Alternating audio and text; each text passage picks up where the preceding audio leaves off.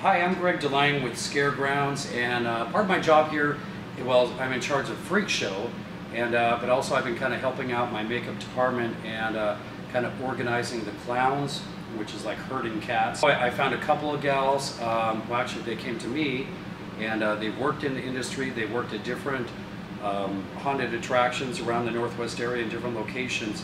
And we were fortunate to get them. They have a lot of experience. So what they're going to do is kind of go through a makeup uh, 101 on how to do different types of makeup, what to use, uh, maybe a few techniques, although they're not going to probably reveal their secret squirrel stuff, but they're going to show you just kind of the basics. And you are?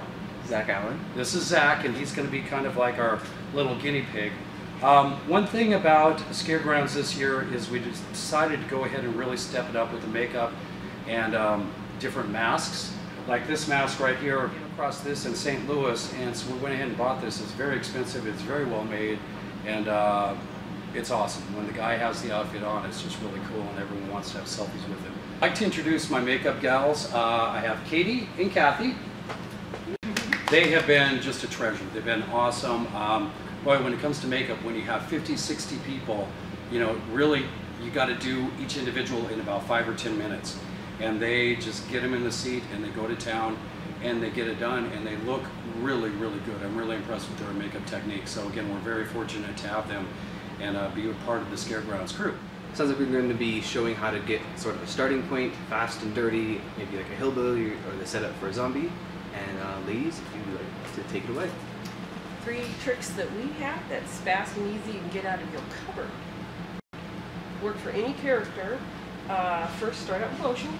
Mm-hmm. Okay, on the other side of your arm. All right.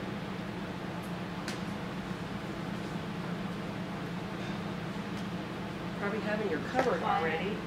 Allspice. Sure that cookies. And the lotion is just getting it hair more. So Gonna it's, stick.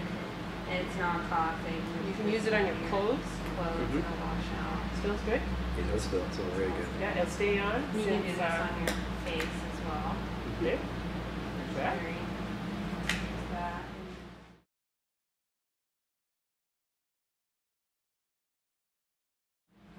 That. I'm gonna you how to black your teeth out.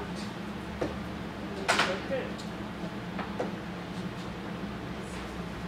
Dollar store Move it, Dry this. If you're doing this on any kind of actors, you're gonna be wanting to use rubber gloves or something if you're doing a lot. Mm-hmm. You know. Yeah. Grease paint or type of eyeliner. This is Dollar just a store. woman's eyeliner. Dollar store. that Mhm. you use, and you're just gonna put that. Make sure you dry your teeth off so it will stick. Dry real well. This won't last as long as the regular tea. Tooth out, but Tooth most out, people but will have that in their. But most people Steal it from have that. mom. You can kind of blend it a little bit. Add like zombie teeth or whatever. But you could even get use different brown. colors. And that is pretty much it there. There you go.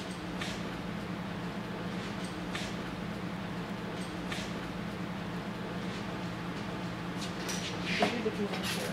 And then another trick, if you want and true. zombie or any kind of effect for your hair, is just to use regular Walking hair Dead trick. conditioner. They also use this on Walking Dead as well. You just put a little. in A lot. hand. The more you quite have, the better. And just kind of run it through your hair and kind of makes it look wet. If you have longer hair, women looks this better. work, you might have to put a little hairspray on it for women if your hair is longer. You can even put baby powder as well To it make if you it want it to look a little deadish. Mm-hmm. And then Okay. another trick, if you need to make a black eye really quick, you can take women's just regular eyeshadow, Dollar store again. make sure they're Mhm. matte. You can go on Not purple, sparkly. purple, and kind of just make quicker of them. Just kind of start with a bruise. You always want to go a little darker if you're in a haunted house or anything like that.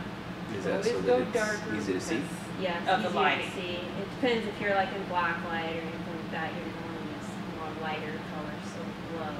Here, and this is just stuff from the dollar store. I bought it today. You just play around with it. You can get greens. It depends on what kind of groove it is. And purple, usually black eye, it has a lot of red and such like that. You could even make a broken, you know, nose kind of effect and stuff like that. Sure you blend it really good.